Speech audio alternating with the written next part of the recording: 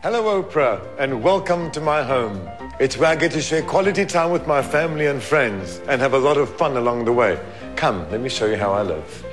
Colin says the heart of his home is the kitchen. Come look at what's inside my freezer. You know, I love making cocktails, but I now have gotten to the stage where I have couture ice cubes. If I'm serving a vodka on the rocks, I use a real big ice cube. So I have all different types of shapes of ice cubes for different drinks and for different cocktails. I can find anything I'm looking for at a moment's notice, and it allows me to be able to entertain whenever I need.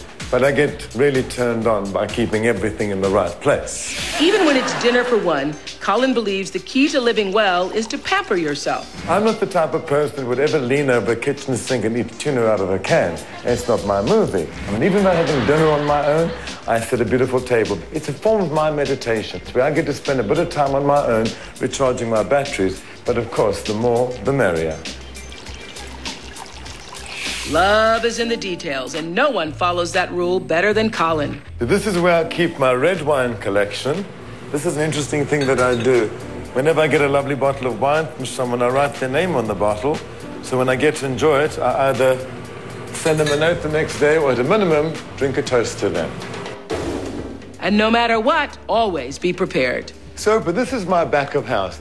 This is my gifting area. So I have gift wrap paper, note cards, and if I receive two of the same type of gifts, the second gift goes into this shelf so I'm able to pass it along to someone who really needs it. And then if I'm running off to a dinner party or someone's birthday, I have pre-wrapped bottles of champagne, wine, and some fragrant candles, and I'm good to go.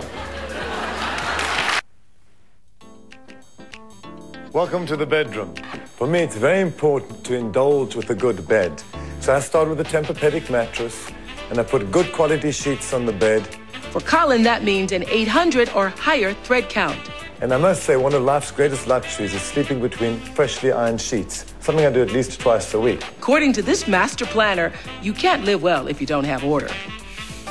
And I'm back in the closet. I believe that good style comes from ruthless editing. So if I buy two suits, I get rid of two suits. If I haven't worn it in a year, I give it to somebody who needs it more than I do. But I like to keep everything color coordinated. All of my sweaters, they're all folded. And you can see I fold them over this template so they're all the same size. I love uncluttered surfaces because they allow us to breathe. And I find that if everything has a space, we have order.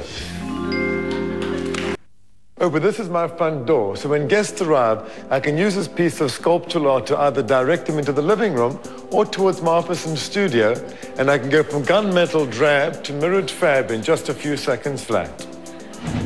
So when it comes to entertaining, this is where I have all my backup china and all the colored glass. I could literally have dinner for 100 with an hour's notice. In this freezer over here, I have 24 chickens, a dozen racks of lamb, duck breasts, frozen soups, chicken stocks, veal stocks, anything I need in the refrigerator, all the chilled beverages ready to go. And speaking of going, I think I'm going to go and get ready for my dinner party tonight. Tonight's drink, my fave, tequila on ice. It's going to be a long, long, long night. There we go. Cheers. Welcome, to you. welcome. Thank you. I just finished that completely. I'm feeling so much better, darling. You have no idea. Then it's time to dine. There are few things that make a life worth celebrating. Good food, good wine, good people. The only thing missing, Oprah, is you, my love. Those different shapes. Lollipops. You know, like the frozen lollipops?